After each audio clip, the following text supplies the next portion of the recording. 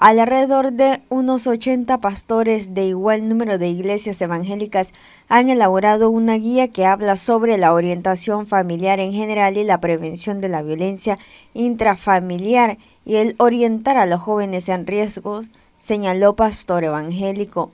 La orientación familiar en general, pero también la prevención de la violencia intrafamiliar y con los jóvenes en riesgo, por decirlo así, ¿verdad?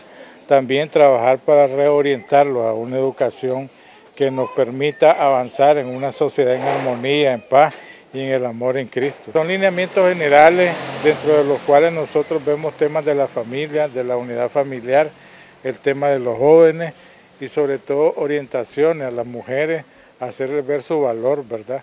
Lo que la mujer significa para el hogar, porque la mujer es realmente la que mantiene el hogar eh, eh, casi en el 70% de los lugares. Agregó que lo que buscan es prevenir y formar. Lo que nosotros queremos es prevenir y formar, porque estamos previniendo que se den de nuevo esos ataques constantes que han habido, los feminicidios, la violencia intrafamiliar, pero también formar un nuevo carácter dentro del núcleo de la sociedad como es la familia, para que la gente entienda bien que de ahí depende toda la sociedad y que nuestra formación, nuestra capacitación, nuestros valores y nuestra manera de actuar, de pensar y de ser es que vamos a lograr la hermandad en Cristo. Noticias 12, Darlene.